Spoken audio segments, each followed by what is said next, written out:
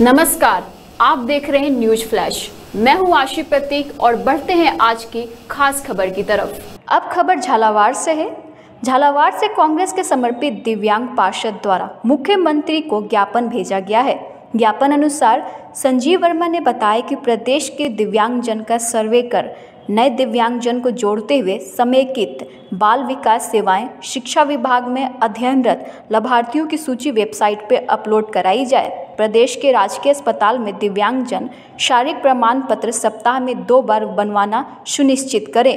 प्रमाणित डेटाबेस के अभाव में पात्र दिव्यांग को लाभ नहीं मिल पाता है, इसलिए सख्त निर्देश जारी करवा कर विद्यालय में सर्वे करवा कर छात्रों को प्रमाण पत्र सामाजिक सुरक्षा, pension UDID card, bus, rail किराया, रियायत कार्ड एवं सहायक उपकरण वितरण कार्ड तय समय तालिका अनुसार।